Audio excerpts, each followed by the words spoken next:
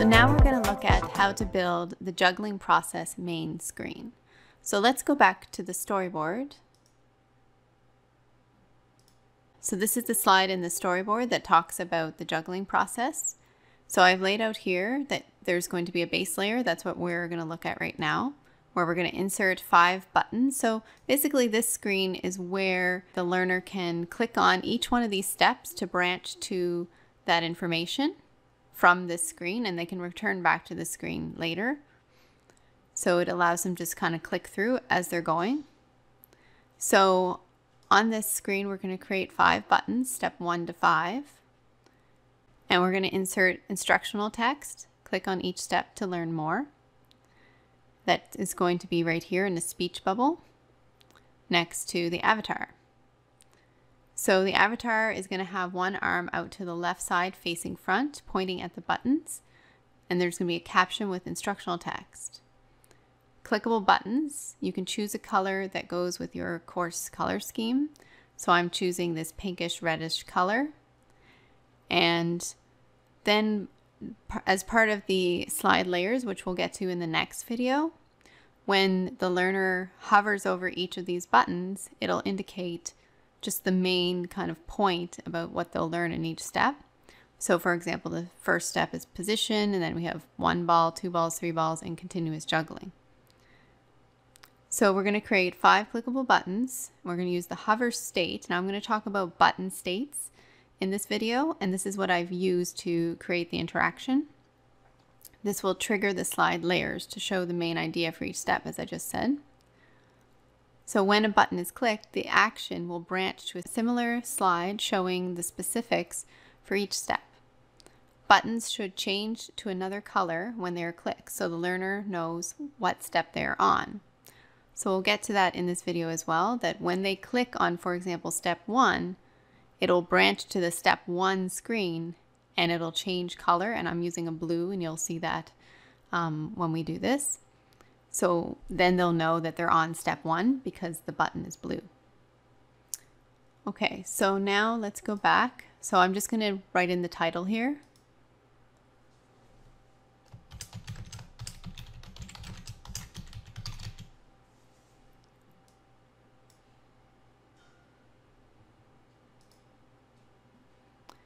And I'm going to make this my blue color that I've been using. Okay. And we're going to insert buttons. So I'm just going to delete this. There we go. So we just have a blank screen here. So let's just go look at the storyboard again. So we need to insert buttons and insert an avatar and insert the um, caption here. Now we've already created caption in the previous one, the previous slide. So we can just copy and paste that and then just insert the text we need. So to insert buttons to start with, go up to insert and over here to button. And I chose these ones, but you can choose whatever you'd like. And then just position it here arbitrarily for now and create the shape. So we might have to tweak this um, once I write in the text for the size that you want.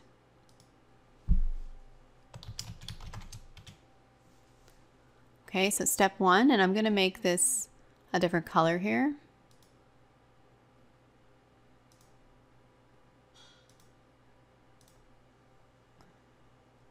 And then I'm going to change this font color and I'm going to make that white. And then for the border for the button, I'm going to make that this color right here. And let's uh, maybe change the size slightly on this. Yeah, something more like that, I think. All right, so now we can just duplicate this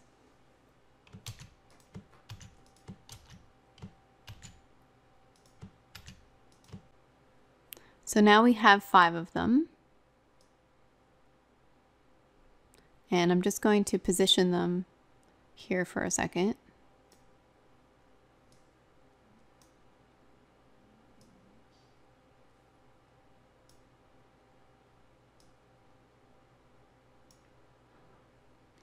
Okay, and then I'm going to just rename them.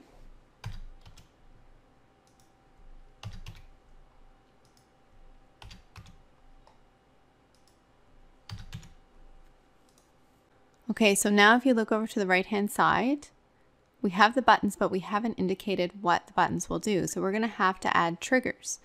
So we can click here because it already has it, add triggers. We click there. So we're going to have it jump to slide. Step one, position yourself. When the user clicks button one, okay. Button two, jump to slide. Step two, okay. Button 3, jump to slide. Step 3. Button 4, jump to slide. Step 4. And button 5, jump to slide. Step 5. Okay, so now let's just look over here. We're going to go over to the story view here because I just want to show you something. So as I did that, because I'm telling it to jump to different slides, the story view has now changed. So this is what I alluded to in um, the video where I talked about the, the layout, which we put together ahead of time. Now, this slide here, the juggling process, branches to step one, two, three, four, and five. So you'll see more changes happen as we go through because we're going to add lightbox slides and remediation for the knowledge check questions. So there's going to be a few more things that are going to change here, but I just wanted to show you that. All right. So now we have the buttons uh, triggering to jump to those slides. So now let's insert our character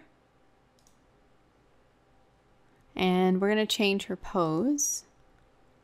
We're going to have her pointing to the buttons.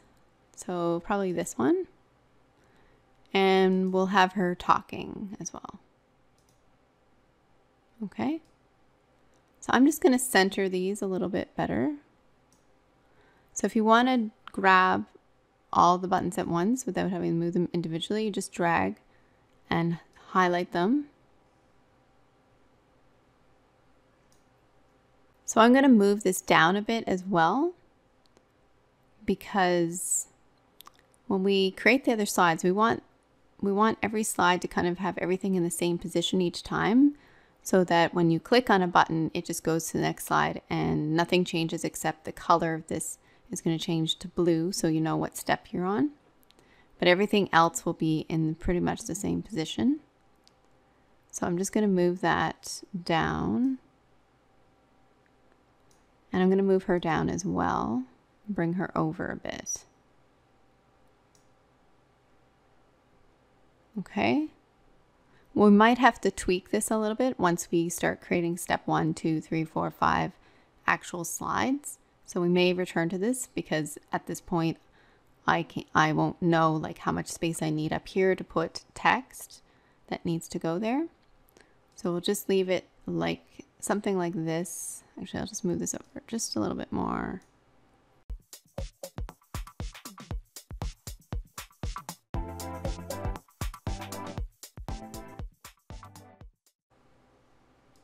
So we're more or less centered in the screen now.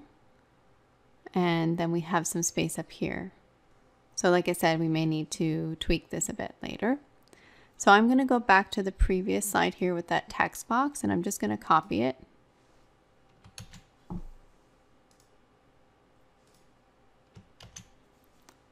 And then I'm going to move it over here. And nice thing about these speech bubbles, you can then drag this over so you can have it like pointing like this.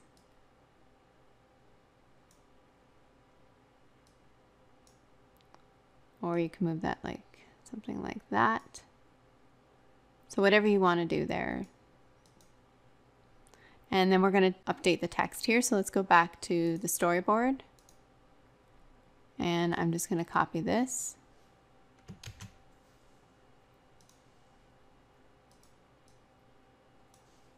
And paste it.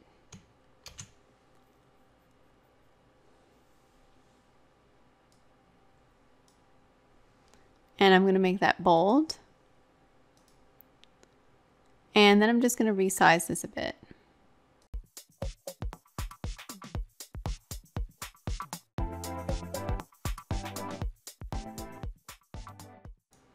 Okay, so you can keep tweaking that. I'm just going to leave it like that for now. Okay, so if we look over here to the play triggers down here, we have jump to next slide and jump to previous slide, but we don't want them to necessarily be able to just click next here because this is a branching screen.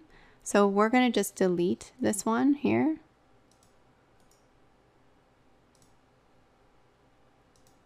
And we're going to make sure the previous step goes to what you will need. Okay, now we're going to look at the button states. So states you can access down here.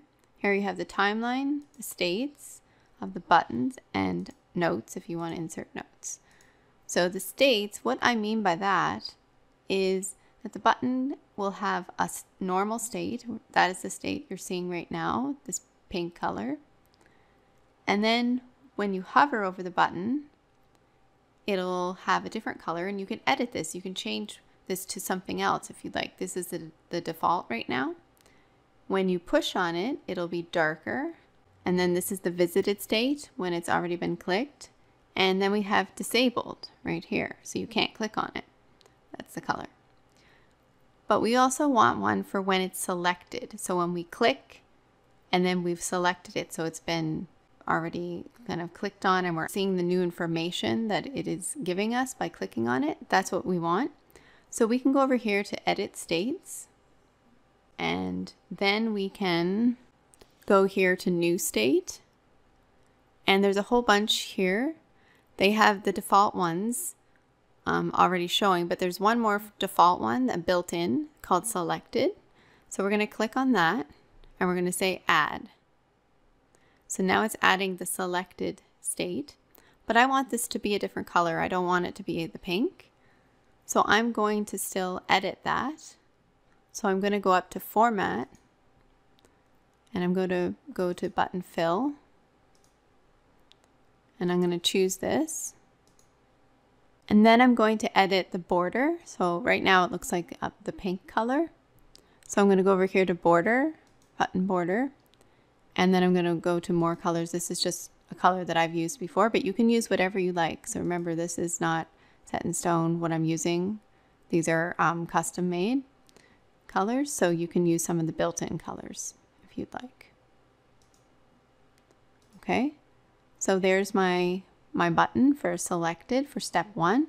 Now we're going to repeat this for all of them. So let's just go over here first and say done editing states. Once you're done, you click done editing states button.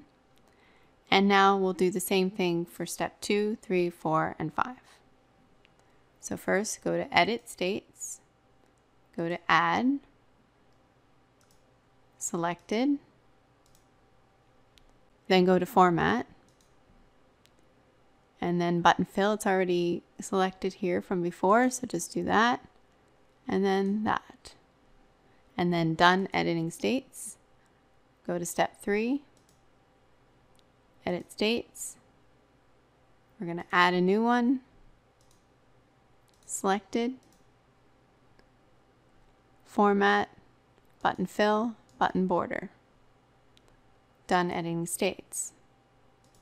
Step four, edit states. Add a new one, selected,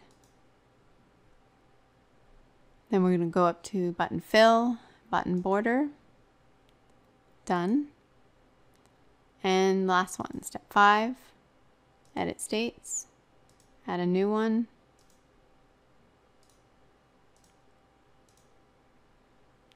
And change the fill and the border. And done editing states. All right, I'm just going to save that. And I think now that I look at the screen, um, I'm just going to move this over a little bit because we will have a few words that's going to pop up here, but I think it'll be a little more balanced. So I'm just going to highlight all of this and just drag that over just a little bit.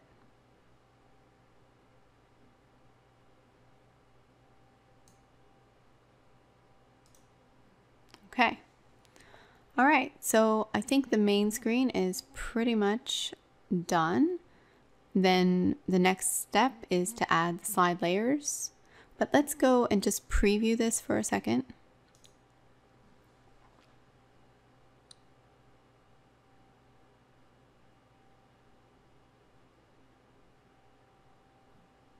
So I previewed it from the beginning, but we can then jump to this right here.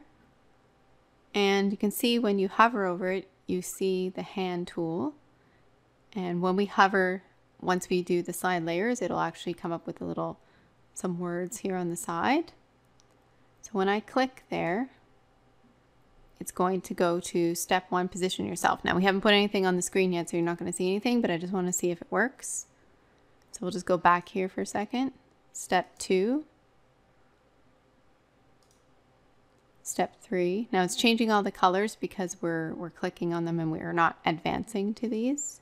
So we'll go back here. So it is working. Here we go. Replay. So if you hit replay, it'll reset them. So once we build the other screens, it's going to make more sense. But right now we can just, we just see that we have the buttons, they are active and they are jumping to the right screens. We just don't have it all set yet. All right, so in the next video, we'll add the slide layers.